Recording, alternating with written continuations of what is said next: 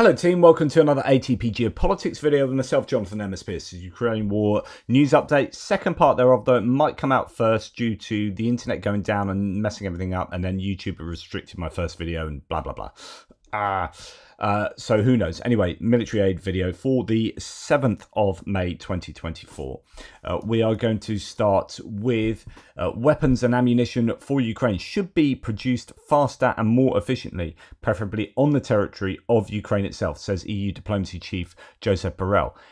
Uh, this is a follow on from what I said yesterday with regard to Denmark and Canada giving money to Ukraine to build their own um, military equipment, munitions, whatnot on Ukrainian territory. And I talked about how this is the next best thing for an individual nation from their point of view. If you're looking at economic, sorry, if you're looking at military aid to Ukraine having some kind of economic stimulus angle to it, then say Denmark giving money to Ukraine to build particular weapons inside Ukraine is the next best thing from building it in Denmark from Denmark's point of view because it, it has the added bonus of being a stimulus for Ukraine. It's not just about getting weapons to Ukraine, but it's getting weapons with either benefit to to the Danish economy or next best thing to the Ukrainian economy. And then the third best thing is probably EU economy for Denmark's point of view, and the fourth best thing is benefit to someone else's economy outside the EU. So it'll go down like that. So for Canada, the best thing is for for them to stimulate their own economy, but there might be a, a stage where actually Ukraine more needs something that that Canada can't provide. So let's get U- Ukraine to build it themselves. And that's the second best thing. So it's interesting that Joseph Borrell says that weapons and ammunition for Ukraine should be produced faster and more efficiently but preferably on the territory of Ukraine itself. And of course, it's obvious they need to produce it more efficiently and, and, and more quickly than than they have been uh, producing it so so far. Yeah, that goes without saying.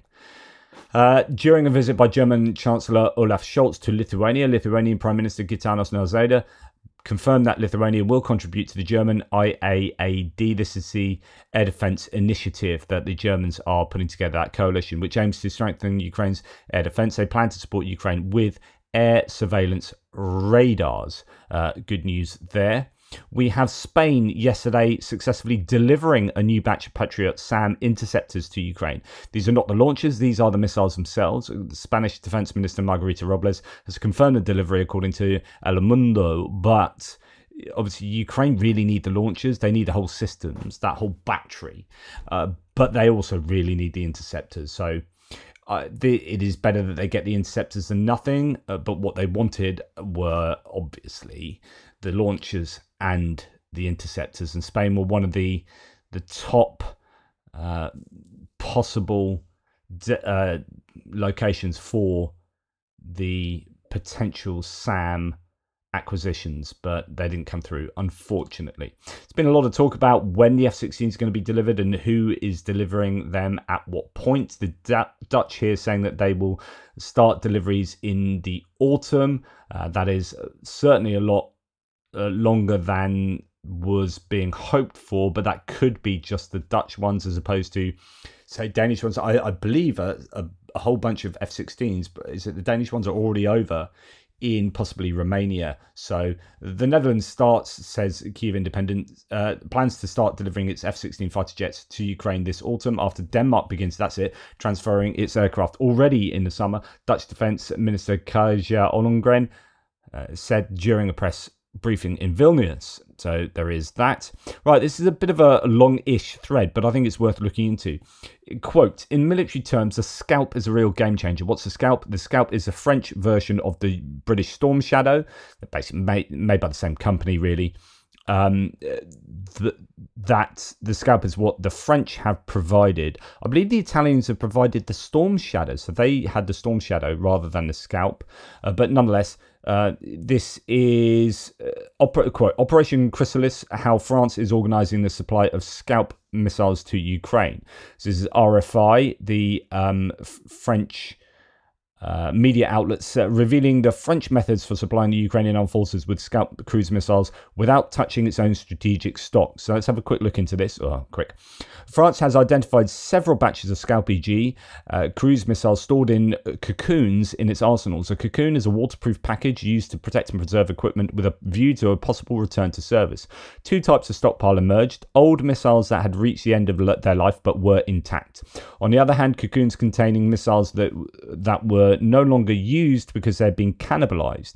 That is, a certain number of parts or components have been removed in order to keep others in working order. Scalps used in the uh, French Air Force squadrons. Uh, they must therefore return to the factories where they were assembled in France, more precisely in Bourges, on one of the MBDA group industrial sites where these machines were produced in the 2000s. The plan is to upgrade the equipment over a three month period during which each missile will undergo a battery of tests, a simplified procedure because France is sure that scalps sent to Ukraine will not be returned to storage but will be launched against Russian targets within weeks. In addition to Chrysal- uh, um, yep, uh, which must be completed by the end of the year. The French authorities are looking elsewhere. They are looking for all types of ammunition, scalps, but also 155mm shells for artillery and surface-to-air weapons to defend the Ukrainian skies. There are also export versions of Scalp EG missiles, and again, the main idea is to ensure that those that reach the end of their life or that could be sold are used by Ukraine. This idea has been circulating since the beginning of this year. Some customers in the French defense industry have ordered large quantities of the scalps in a slightly different version to that fitted to French squadrons. However, a source close to the manufacturer told RFI that these versions cannot be programmed using French computers. These missiles will, therefore, have to be adapted to be comp- compatible with the mission preparation system provided by the Elysee, provided by France. Discretion is required on this sensitive issue, but it's likely that these export missiles, if sold, will undergo some modifications on the assembly lines to make them usable by Ukraine. The scope of these scalps exports is somewhat smaller, and some software is different. The first units were delivered to Ukraine in the second half of 2023 in August. Uh, Zelensky inaugurated the Scalp EG missile by writing glory to Ukraine on the sides of the weapon. Uh, the first shot targeted a Russian command center in Luhansk Oblast, which until then had been out of range of the Ukrainian arsenal, but it was the scalps with a range of 300 kilometers that were the architects of the victory in the Black Sea. Uh, on the 12th of September, a large scale missile attack destroyed two ships dry docked in the port of Sevastopol, a large landing ship and a Kilo class submarine, the Rostov on Don. On September the 22nd, 2023, a salvo of missiles penetrated Russian air surface to air defenses and struck the headquarters of the Black Sea Fleet again at the Sevastopol naval bases, injuring and killing senior officers. On the 4th of November 2023, the Kerch shipyard suffered a massive attack by around 10 missiles, damaging a French, uh, sorry, a Russian warship armed with Kalibr cruise missiles.